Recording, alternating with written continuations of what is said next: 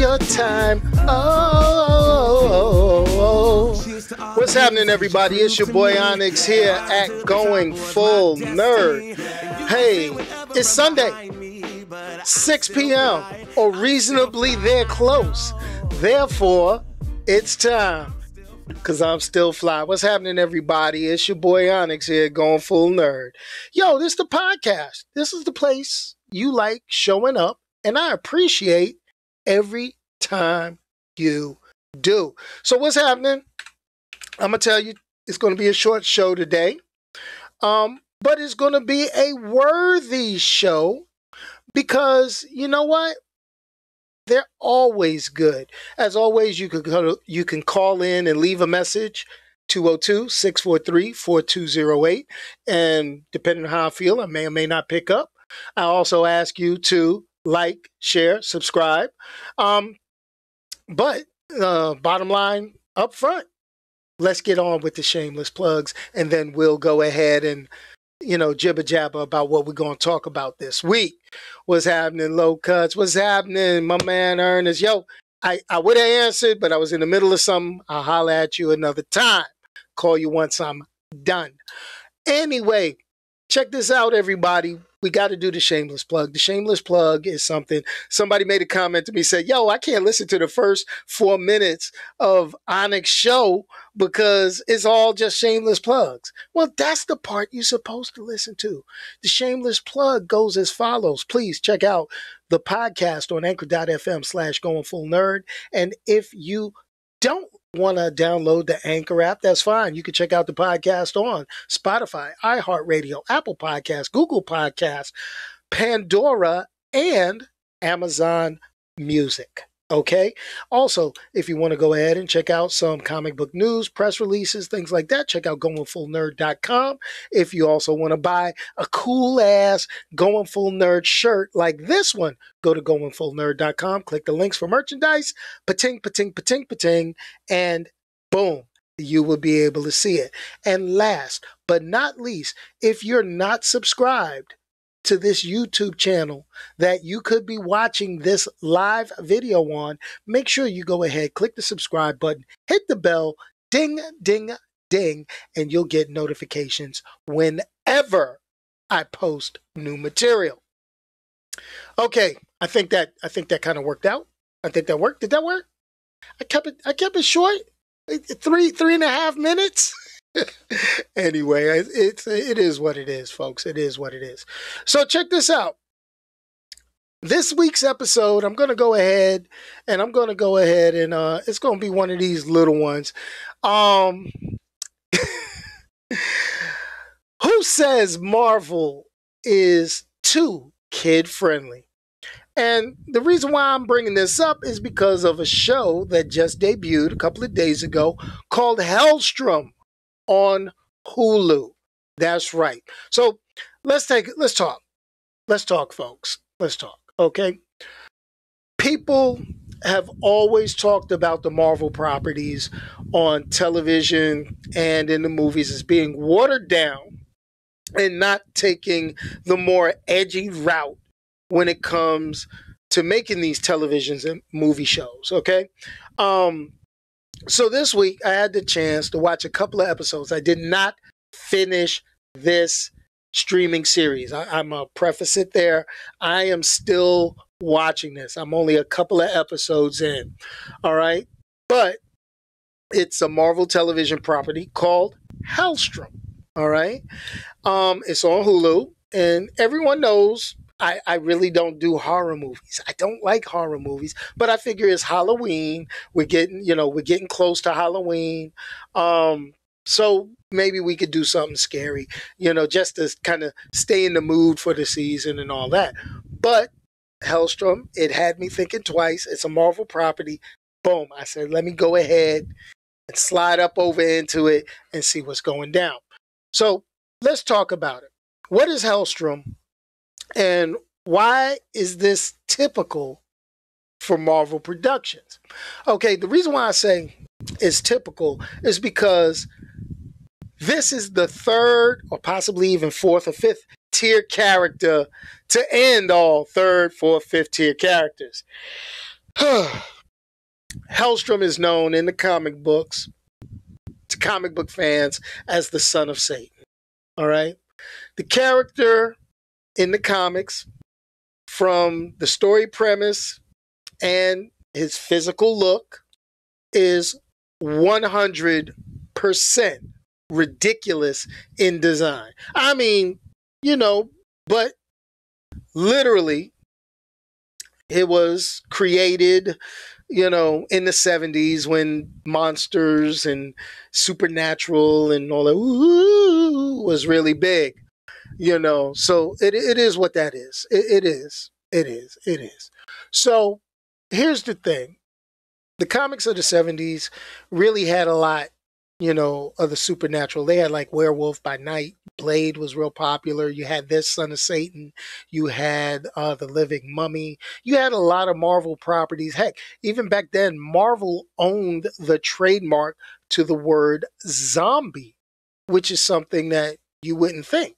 But you know, the thing is, this character, Daimon Hellstrom, or Son of Satan as he's known in the comic books, he had um pretty much a lot of car- a lot of connections to more popular characters, um, like Ghost Rider, Blade, and most famously Doctor Strange.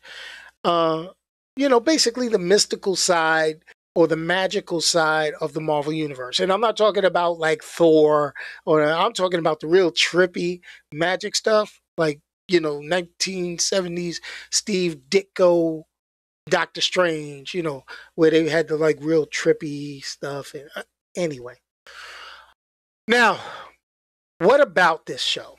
What about Hellstrom? What about it? Well, here goes the problem. This is Marvel's shameful child. And I'm talking, when I talk Marvel, I'm talking Marvel Productions. Okay, so Marvel fans kind of looked at the trailer when it was put out, and a lot of people looked at the you know, show. And I looked at the show and they're going to immediately notice one thing. There's something real big different about this show. It's lacking the distinctive Marvel logo that you see in front of a lot of Marvel productions. You know, the bright red with the white Marvel slapped on it and going through, you know how they have like the comic book pages flipping before you watch a show and they play dun, dun, dun, it doesn't have that. Okay? And you've had that on a lot of stuff. Now, ordinarily, you know, normally any Marvel television series, go back to Luke Cage, Daredevil, you know, even uh, Jessica Jones, uh, The Runaways, and all that other stuff. It had that. And, you know, it's been basically a, a steadfast part of it for, you know, since the two, early 2000, almost 20 years. But here's the thing Marvel really doesn't want to acknowledge that Hellstrom is part of the Marvel universe because it's not necessarily on brand. And this is where people kind of go ahead and say, well, maybe Marvel is too kid friendly because the subject matter of Hellstrom it is trippy, tri- trippy, trippy. Okay. Marvel, you know, and um it's not on brand. But in light of a few announcements recently, it should be on brand. And this is, and I'm to get into it, you know. So here's the reason why. And I think it's pre COVID, pre, you know, Marvel getting a whole bunch of other stuff, but it was commissioned to become a show back in 2019. Okay. And since then, they've had a lot of changes over at Marvel uh, Studios. I mean, um, Kevin Feige started became chief creative officer um, in October. Um, the live action TV stuff has been moved under Marvel Studios.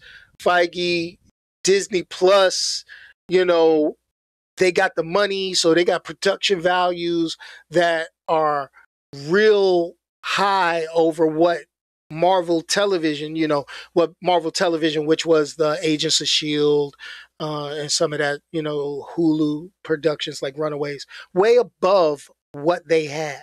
Okay, way above that.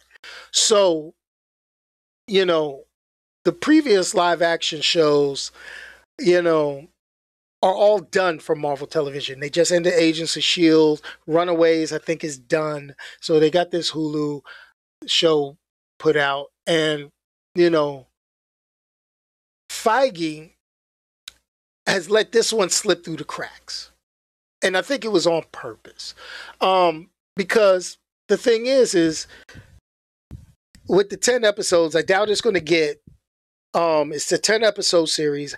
I doubt it's going to get a second season. Um, I think Hulu is the place where Marvel stuff goes to die.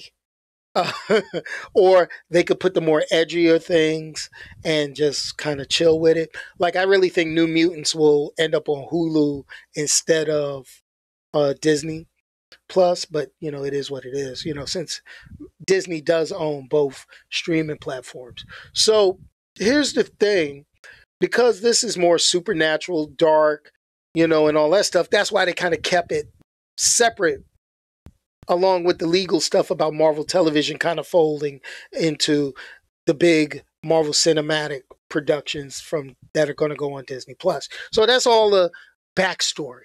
Okay. That's all of the, you know, stuff that goes on. But this is the thing.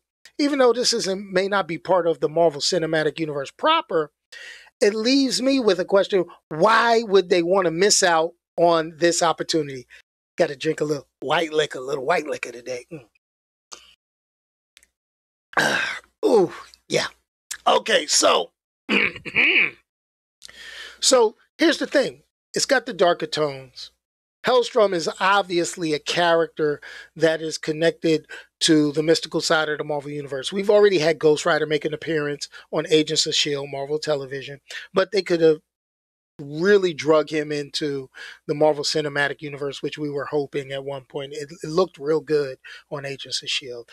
And, you know, even though we do have rumor control that there will be a female Ghost Rider in the Marvel Cinematic Universe, that'll be a first. I don't know what's going on with that. It is what it is. They We get all sorts of announcements. Who knows what's true, who's not, and what's not true. But here's the thing the darker tones and it's obvious not for kids subject material you know I, I, really think marvel is missing the opportunity to have their um, darker side of the mcu that if theaters ever open back up or if they decide to kind of go and get into um, the you know, the Hulu and put the more edgier properties on Hulu, I mean, think about it. You can get Ghost Rider, Blade, which they're going to make a Blade movie. I mean, they already announced that. So, you know, vampires, blood sucking. Why not? Okay. Um, you're releasing a Morbius film in conjunction with uh, Sony Pictures. Um, and you could get Ghost Rider, Blade, Morbius, Doctor Strange into this. Um, you know, battling Mephisto or maybe even Dracula. You've already introduced the Darkhold in a connected Marvel property, you know, back when it was on Agents of S.H.I.E.L.D. You got the props. So why not do this to keep it away from the superheroes, but have it more on the mystical side? Have it that scary horror property? Maybe, maybe not. Now, it is the thing, but I guess we're not going to hold our breath for uh, rising of the midnight suns like they did in the comic books. You know, maybe not. Even though you're going to have a lot of the main characters, they already said they're putting it out there. Like I said, Ghost Rider, mobius Blade, M- Moon Knight. Oh my gosh, man, they are missing an opportunity, a big freaking opportunity. But let's talk about the show a little bit. The show so far, I'm a couple of episodes in. Um, I don't think I'm going to give it a review just yet. I'm to watch all 10 before I kind of pass judgment on it. But I can say the show is actually giving off those Constantine vibes. Not the Keanu Reeves movie Constantine, but the TV show off of NBC, Matt Ryan Constantine. You know, kind of dark, mystical. It's almost like Constantine meets The Exorcist. So, you know, you got these dynamics. You got uh, Daimon Hellstrom. You've got his sister Anna in it, or in the comic book, she's known as Satana. So, you know, Satana, however you want to say it.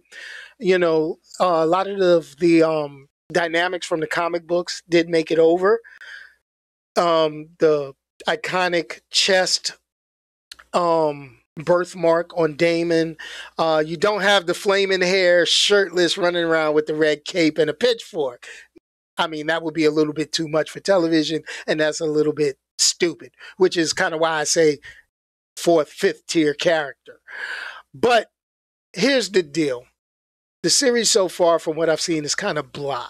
Um, I'm gonna finish it. I'm gonna give it a full, you know, going full nerd review. But it's really taking every ounce of my being, every fiber of my being, to try and still watch this. I made it through a couple of episodes, like I said, and I'm not really thrilled. It feels like a third tier horror movie. I think I'd rather go watch a third tier horror movie like Jeepers Creepers or something like that.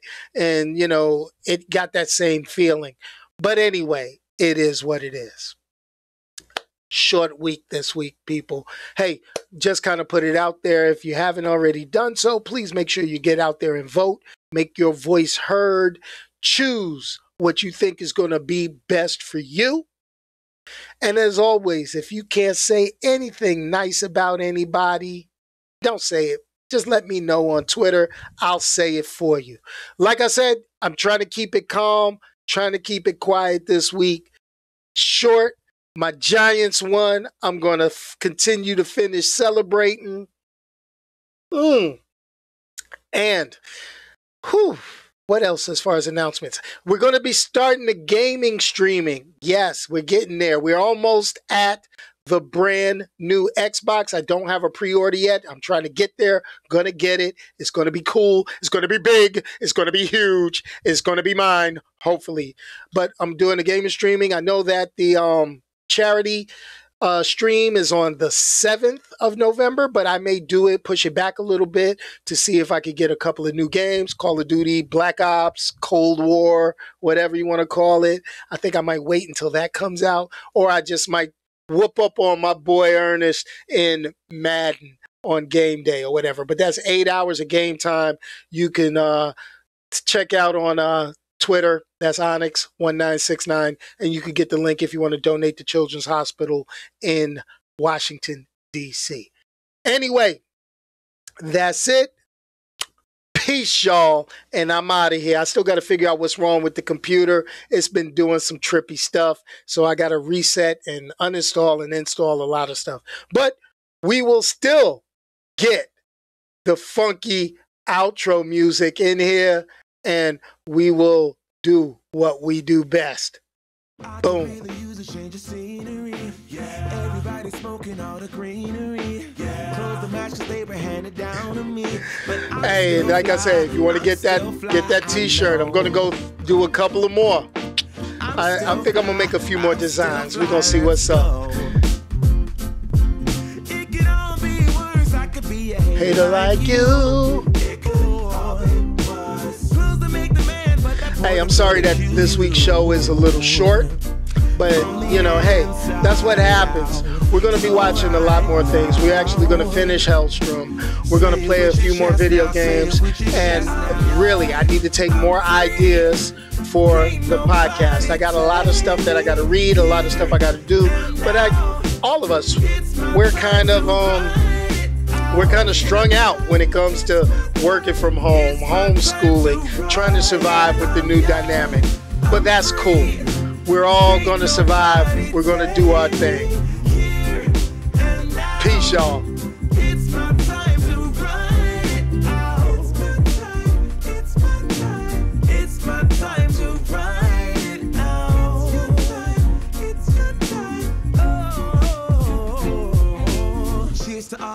cause you proved to me yeah. that rising to the top was my destiny. Yeah. And you can see whatever from behind me, but I'm still fly, I'm still fly, I know. I'm still fly, I'm still fly, let's go.